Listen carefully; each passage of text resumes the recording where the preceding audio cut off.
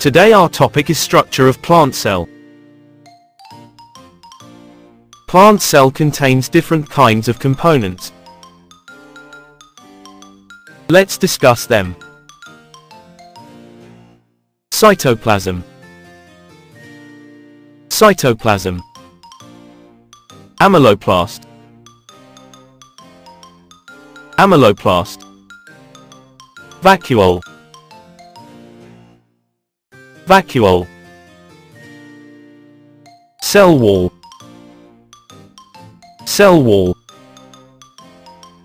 Cell membrane Cell membrane Ribosomes Ribosomes Golgi apparatus Golgi apparatus Endoplasmic reticulum. Endoplasmic reticulum. Nucleolus. Nucleolus. Nucleus. Nucleus. Mitochondria. Mitochondria. Peroxisome Peroxisome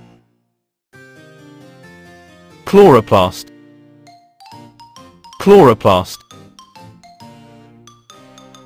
Thank you.